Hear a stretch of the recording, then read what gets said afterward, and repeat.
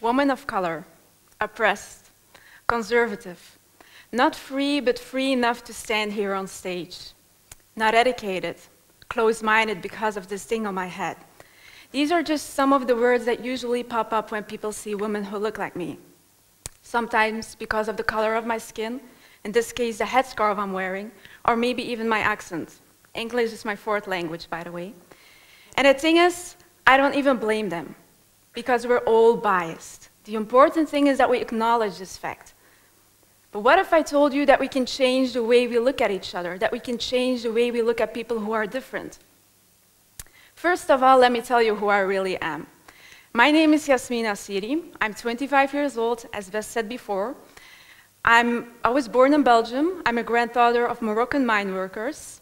I work as a marketing and communication officer at the University College here in Antwerp. I'm the founder of Amana, the founder and director of Fleks, and I write. I write for the daily newspaper De Morgen. So it's perfectly possible that you have seen me on your screen, that you read my opinion pieces in the newspaper, or that you already have heard me on the radio. So not do I only know how it feels like to be a member of a minority group or a member of our society, I also don't know how it feels like to be misrepresented by the media and at the same time to be a part of that media while constantly being reduced to the way I look and what I believe in. And even though our society is so diverse, there are still so many people who had never the opportunity or never took their chances to meet someone who thinks and looks differently. I'm often the only person at events as a speaker or a guest who is a woman of color, Muslim, or even just a woman. And believe me, it's not because I'm the only one who speaks her mind or the only one who's passionate about making a difference in our society. I'm not. And if you think about it, it is actually pretty sad. Because if you see at how diverse our cities are, for example, here in Antwerp alone, there are more than 170 different nationalities, which makes the city as diverse as New York. But still, it sometimes just feels like we're all living next to each other instead of with each other. And that's why media in general are so important for a society. They're not only an important source of information about social changes in different communities, they're also an interesting way of interacting with different kinds of people in our society. And that's why media should reflect the same diversity that's seen in our society. If even I don't see people who look like me in different spaces where I'm invited, how do you think other minorities would feel? And just to be clear, when I use the word minority or diversity, I'm not only talking about people of color or religious minorities such as Muslims or Jews. I'm also talking about women in general, people with disabilities, and members of the LGBTQ community because they are mostly forgotten. So let me tell you this personal story I have. One year ago, in September 2016, I wrote my first opinion piece for the daily newspaper De Morgen. It was a pretty good start because it was shared so many times it even resulted in an invite for a live TV program next to the world's best major, Bart Somers. And, uh, and I remember how I felt when the taxi driver drove me to the studio in Brussels. How did I get here? And I was hearing my mother's voice telling me, Why do you always get yourself into trouble? Anyways, just imagine a 20 year old something student was going to have this conversation on live TV for the first time. And she was going to explain about how hate against minorities leads to irrational decisions in our society and in politics. And the thing is, I didn't feel insecure about what I was going to tell, but I was insecure about the consequences afterwards. How much hate would I receive? And how many people would be blinded by the way I look and not listen to what I had to tell? And will my positive self be able to handle all this negativity? Anyways, um, I survived, except for the death threats I received and the hateful tweets. But I'm standing here, so it's uh, all okay.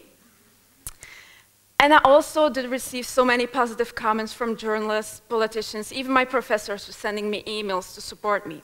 And I did also receive many messages from people who I didn't know. People who were so in shock for seeing someone being articulated on TV, someone who looks like me, someone who's being fluent in Dutch. And I still believe that they meant well, but it didn't feel like a compliment. Of course I'm fluent in Dutch. I was born here. I even know so many people who weren't even born here in Belgium and are fluent in Dutch. It's not a big deal. It's not an accomplishment. So it didn't feel like a compliment. But what it did mean is the fact that there was something shifting in their minds, that they were changing the way they were thinking about certain minorities. And it does also mean how rare diversity on our screens actually is, especially here in Flanders. And that's not all, because a couple of weeks later, I officially started as a columnist for the daily newspaper. And I remember how my colleague asked me this one strange question. He got me slightly irritated, by the way. And um, he asked me, he said, Yasmien, how does it feel to be the first headscarf wearing Muslim woman writing for a newspaper here in Belgium and Flanders? And I was like, who cares? Isn't what's in my head that should matter instead of what's on my head? And you can still find the interview online because my answer was exa exactly two words. Who cares? and yeah, I was kind of naive, to be honest, because I didn't realize how important that question actually was. Because being the first means changing the narrative. It means making a difference without even knowing it. And even though I didn't see it as an accomplishment, it was a huge step forward for our media industry. Because being the first also means opening doors for more others to come. And unfortunately, we all know that the first step is always the hardest. And that's exactly what I experienced dur during months of writing for De Morgen. It was so hard to be constantly reduced to the way I look and not uh, to the message I was trying to spread. And that also made me realize if no one on your screen or in print looks like you, how will you be able to believe that you can get there too, that you can have the same goals and same ambitions? More importantly, how would others know that a woman of color can also talk about the world of startups instead of always being invited to talk about her race or gender? And how would others know that a Muslim woman, with or without a headscarf, can be financial experts too, instead of constantly being reduced to the way they look like and their beliefs? It's so important to have diversity in the movie industry, especially in superhero movies. That's why the Black Panther and uh, Wonder Woman are such a huge deal. And there is also science behind it, because research has already proven the importance of representation and diversity in the media and entertainment industry. And the thing is, if you want to battle all these stereotypes, if you really want to make a change and end misrepresentation of minorities in our society, then we, start, then we have to start by accepting the fact that diversity in media is powerful.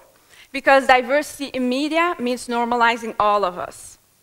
It means making us feel comfortable with all our differences. Because what is seen on our screens and what is read in print is felt in our society.